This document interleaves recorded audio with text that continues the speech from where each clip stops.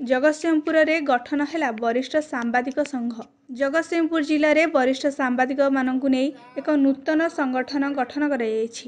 ଯୁଗ ଯୁଗ ଧରି ସମାଜ ପାଇଁ ସାମ୍ବାଦିକମାନେ ସଂସ୍କାର ଓ ଗଠନମୂଳକ ପଦକ୍ଷେପ ନେଇ ଖବର ପରିବେଷଣ କରିଥାନ୍ତି। ହେଲେ ସମାଜ ଓ ସରକାର ସାମ୍ବାଦିକମାନଙ୍କ ଅବସର ପରେ ଏମାନଙ୍କ କଥା କେହି କେବେ ବୁଝିନଥାନ୍ତି। ଦେଶର ଅନ୍ୟାନ୍ୟ ରାଜ୍ୟରେ ସାମ୍ବାଦିକ ପେନସନ ଥିବାବେଳେ ଓଡ଼ିଶା ରାଜ୍ୟରେ ସରକାର ଏ ବ୍ୟବସ୍ଥା ଲାଗୁ କରିନାହାନ୍ତି।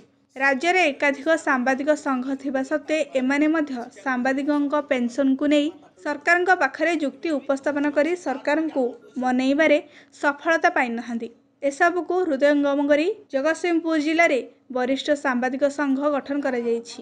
ସାରା ରାଜ୍ୟରେ ଅବସର ନେଇଥିବା ବ୍ୟକ୍ତିବିଶେଷଙ୍କୁ ସହାୟତା ଯୋଗାଇବା ଏହାର ମୂଳ ଲକ୍ଷ୍ୟ ରହିଛି। ଜଗତସିଂହପୁର ଜିଲ୍ଲାର ବରିଷ୍ଠ ସାମ୍ବାଦିକ କାହ୍ନୁଚରଣ ନନ୍ଦଙ୍କ ଦ୍ୱାରା ଆଦୃତ ଏହି ସଭାରେ ଶ୍ରୀ ଅଜୟ ଜେନା ସଭାପତିତ୍ୱ କରିଥିଲେ। ଜିଲ୍ଲାର ସମସ୍ତ ବ୍ଲକରୁ ସତୁରୀ ପାଖାପାଖି ଷାଠିଏ ବର୍ଷରୁ ଉର୍ଦ୍ଧ୍ୱ ସାମ୍ବାଦିକ ଯୋଗ ଦେଇଥିଲେ।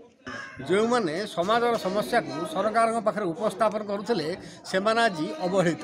ସରକାର ପାଖରେ ସେମାନେ ଆଜି ଦାବି କରିବା ପାଇଁ ପହଞ୍ଚିଛନ୍ତି।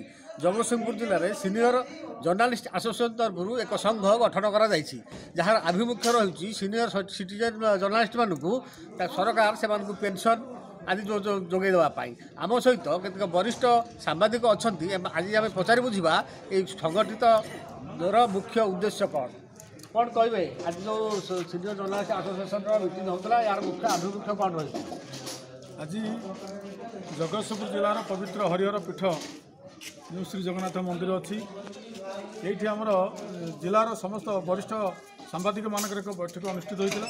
ଏବଂ ଆମେ ଦାବି ରଖିଛୁ ଯେ ସରକାରଙ୍କ ନିକଟରେ ଯେଉଁମାନେ ସାମ୍ବାଦିକତା କ୍ଷେତ୍ରରେ ପଚାଶ ବର୍ଷ ଷାଠିଏ ବର୍ଷ ପୂରଣ କରିଛନ୍ତି ସେମାନଙ୍କର ସାମାଜିକ ସୁରକ୍ଷା ପାଇଁ ପେନ୍ସନ୍ ପ୍ରଦାନ କରାଗଲେ ସେମାନଙ୍କର ଅବଶିଷ୍ଟ ଜୀବନ ଶାନ୍ତିରେ ସୁଖରେ ଚଳିବ। ଏବଂ ସେଥିପାଇଁ ଆମେ ସାମ୍ବାଦିକମାନଙ୍କୁ ପେନ୍ସନ୍ ଦେବା ପାଇଁ ଆମେ ଦାବି ରଖୁଛୁ ଆମ ସଂଘ ତରଫରୁ। ଆମ ପାଖରେ ଆଉ ମଧ୍ୟ ସିନିୟର ଜର୍ଣ୍ଣାଲିଷ୍ଟ ଆସୋସିଏସନ୍ର ଉପସ୍ଥିତ ଅଛନ୍ତି ସଭ୍ୟ। ଆମେ ତାଙ୍କୁ ପଚାରି ବୁଝିବା ସେ କ'ଣ ମତାମତ ଦେଉଛନ୍ତି? କ'ଣ ଭାଇ ଆପଣ ପଚାରୁଛନ୍ତି? ଆଜି ଦେଖନ୍ତୁ ସାମ୍ବାଦିକମାନେ ଓଡ଼ିଶାର କଣେ ଅନୁକୋଣରେ ଅଛନ୍ତି। କିନ୍ତୁ ଗୋଟେ କଥା ହେଲା ସେମାନଙ୍କର ସୁରକ୍ଷା ସେମାନଙ୍କର ଦାୟିତ୍ୱ ତାଙ୍କର ଆର୍ଥିକ ସୁରକ୍ଷା ଆଜି କିଏ ନେବ? ନା ସାମ୍ବାଦିକ ମାନେ ଭାଇମାନେ ନେବେ?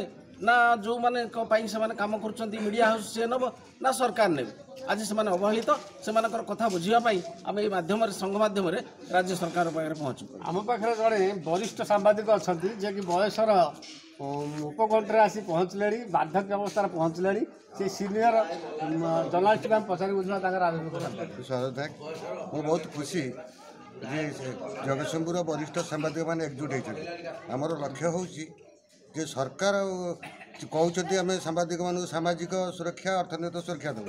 କିନ୍ତୁ କାହିଁ ଦେଖାହେଉନି ଘୁଞ୍ଚି ଘୁଞ୍ଚି ଯାଉଛି।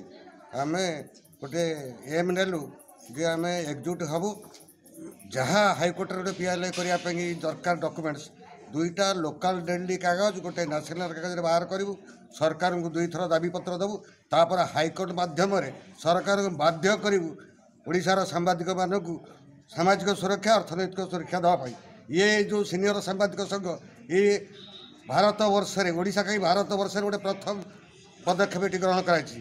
ପୁରୀ ଜିଲ୍ଲା ଖୋର୍ଦ୍ଧା ଜିଲ୍ଲା କଟକ ଜିଲ୍ଲା କେନ୍ଦ୍ରାପଡ଼ା ଜିଲ୍ଲାରୁ ଆମକୁ ଅଭିନନ୍ଦନ ଆସିଲାଣି ଯେ ଭାଇ ବଢ଼ିଆ କାମ କରିଛ। ଆଉ ନିଶ୍ଚିନ୍ତ ଭାବରେ ଜଗତସିଂହପୁର ମାଟି ଯାହା ଆରମ୍ଭ କରେ ଓଡ଼ିଶାରେ ତାହା କାର୍ଯ୍ୟକାରୀ କରେ ହୁଏ। ଆଜିର ଏଇ ଯେଉଁ ବରିଷ୍ଠ ସାମ୍ବାଦିକମାନେ ଏକଜୁଟ ହୋଇଛନ୍ତି ଇଏ ଜଗତସିଂହପୁର ଜିଲ୍ଲା ଗଠନ ହେବା ଇତିହାସରେ ପ୍ରଥମ। ତିର୍ତ୍ତୋଲ ଇପିଏରୁ ଶ୍ରୀବତ୍ସ ପାଢ଼ୀଙ୍କ ରିପୋର୍ଟ ଇପିଏ ନ୍ୟୁଜ୍।